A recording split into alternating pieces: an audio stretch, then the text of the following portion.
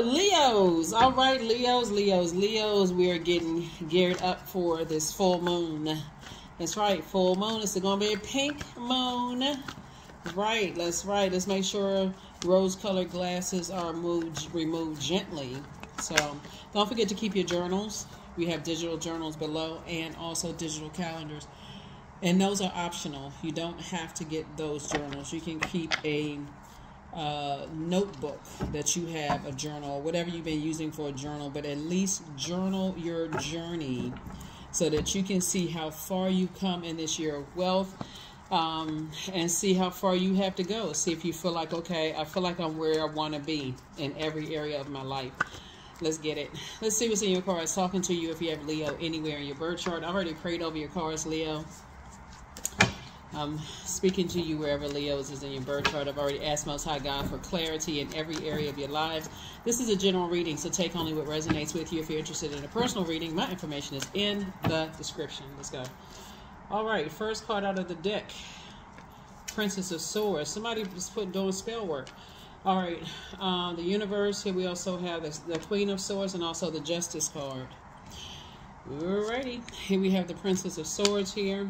Here we have La Bruja. Here we have the Justice card and then also the Universe card, right? Queen of Swords and then also the Ten of Pentacles.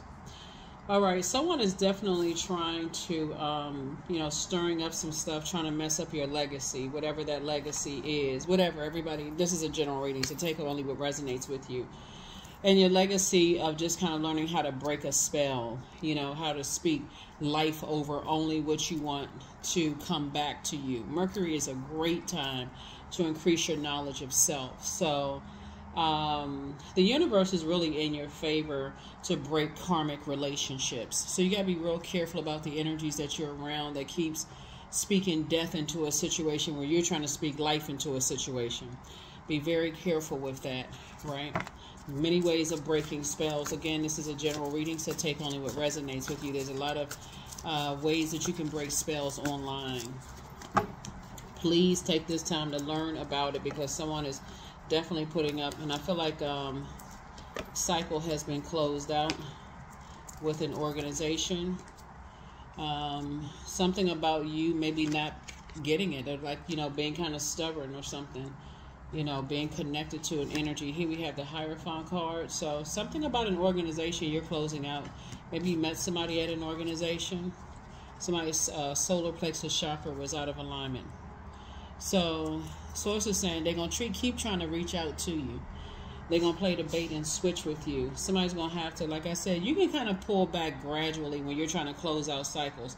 Something in you, they have played the bait and switch, bait and switch, bait and switch you know, like a person who knows that you're trying to move on from something and they warm up to you uh, about something else, and then next thing you know, you're in a full on conversation about something else that you said you didn't want to talk about again. I see you moving forward. See you moving forward. You have a guardian angel watching over you, Leos. They're trying to help you to really vet your thoughts you know, somebody's calling you and say, "Hey, you know, hey Leo, how you doing? So I haven't talked to you in a while. Is everything okay? Yeah, everything is fine. You may have to stop the conversation right there if you're not ready to cut energies out of your life. You may have to, because they could be like family to you at some point, but they know exactly how to warm up to you and to strike. Here we have the Five of Wands, the Fool card. Here we have the Justice card, the Eight of Cups, the Lovers card, and then also the Um, Page of Cups. They could have been a lover at one point. That's why I always tell people to close out cycles with exes. Because that's what this is. They know how to put a spell on you. It would be doing an injustice to yourself to stay connected to them. I keep trying to tell everybody all karmic relationships are going to be broken. So, source is saying, I'm about to make you booked and busy and not burdened. So, stay away from them as much as you possibly can. There are some people you may be thinking that they are um, practicing in dark magic and they may not be, may or may not be. But the only way you'll know is to cleanse by your element as a fire sign increase your prayer life, but don't forget to increase your meditation life as well. Eight of Cups. Definitely um, look like somebody has moved on from some disappointment. You're seeing things a lot clearly clearer now. Your head and heart are no longer at war with each other as it relates to people, places, and things.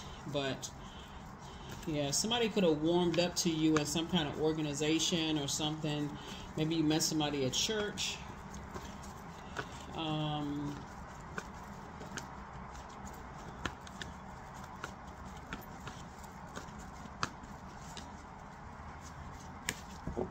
they became like family to you. Now you're in the light about some things. Now you're in the light. And energy is trying to pull you back. It's Aries energy here. Somebody's watching you. They are watching. But Source wants you to get some rest. Source really wants you to get some rest and um, move on. Here we have the Empress card. Yeah. I see you cutting ties with two types of energies and move on because, again, it's just been a nightmare for you. Yeah, it looks like you could have met somebody in some kind of organization. They were just trying to see if you want to be a part of the in crowd. Like you, if you were even in your, a lot of times in your younger years, you want to be accepted and you know by groups of energies and so on and so forth.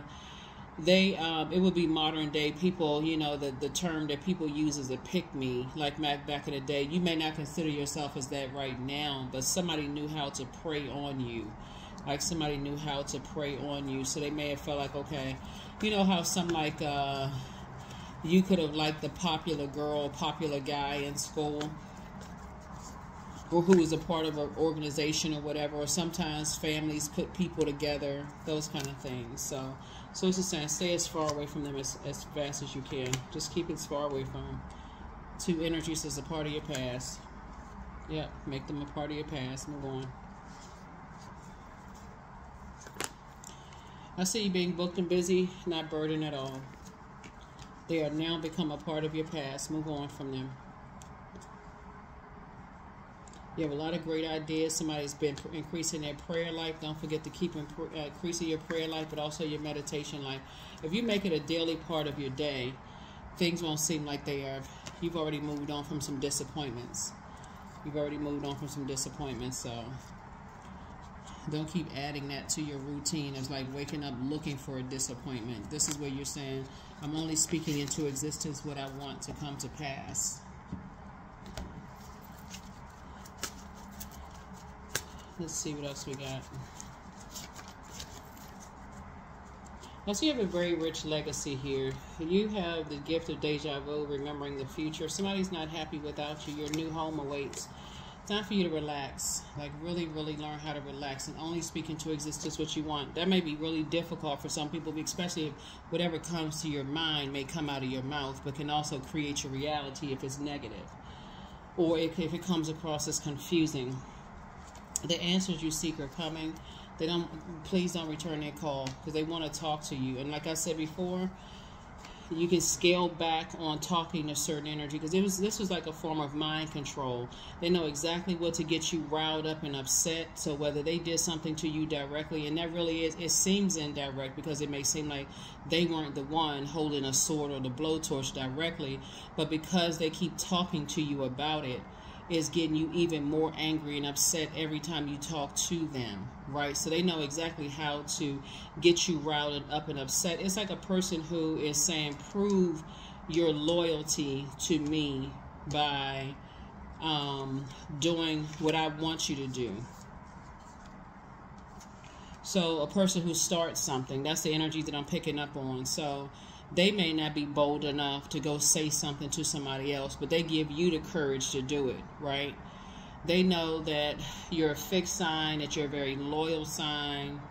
Um, somebody has just found your demons. So you're going to have to take your power back. And I see you doing that. That's how you were able to make it to your throne, and that's how you were able to make it to your throne in your air, and also your fire here. So cut the phone calls off. Here we have much better lies ahead. Yeah, much better lies ahead. You were dealing with somebody who likes to instigate stuff. And that's how they were able to do the spell work. Do do do do do do do do do do do do. But there's a clearing. As true offering arises, it becomes easy to let go. You start to trust that more will arrive. You shift from mind, mind, mind to God's, God's, God. Such freedom. That's right, such freedom.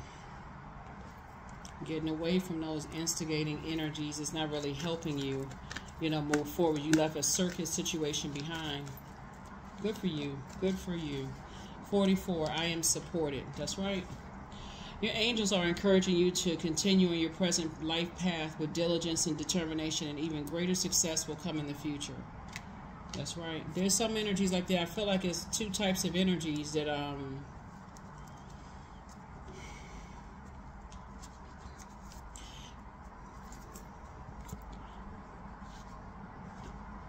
definitely was like an initiation without you knowing that you were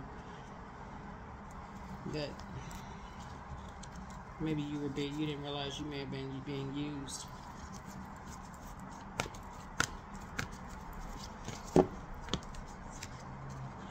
kindness i'm full of loving kindness i'm full of goodwill towards those around me i am surrounded by warmth I embrace all wholehearted kindness. I'm grateful for generosity shared by others. My smile can make someone's day. I allow kindness in my heart to run free. So keep being kind, keep having a good heart. um, but please get your rest. Keep pouring into yourselves. Um, you're moving through a rite of passage of not allowing people to um, keep causing you to go through more nightmares. That's what I have for you. I'll see you all in the next reading.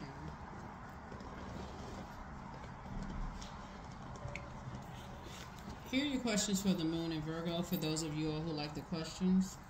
First question is Are you ready to define what you no longer need or want with a practical and objective eye? The second question is Can you define what's yours to fix and what's not in your life? The third question is Do you feel any fear around being fully self sufficient and independent? Fourth question is How could you learn more from nature? And then last but not least is Could you share your free time and your energy in a valuable and charitable way? Um, a moon in Virgo, when you watch this video, the moon be in Virgo, it lights up all of our focus to detail and the ability to um, analyze pros and cons with a practical and objective ear, right? And so when I look at this reading right here, and I see the fact that someone has kind of been in your ear about some things, you decided you're not doing any more injustices to yourselves you're only speaking into existence what you want to come to pass, and that's it. That's what I have for you, Leos. I'll see you all in the next reading. Let's get ready to remove the rose colored glasses gently and not be forcibly removed. Release all, if you can, just ask, pray to God, where are the unhealthy and wounded relationships in my life? What's in me? Am I attached to anything that's going to wound my, that's going to cut my wounds deeper, that's unhealthy? Um, that I need to release. I need to go through a very powerful transformation and uh, and watch Source do it. That's what I have for you. I'll see you in the next reading. Bye.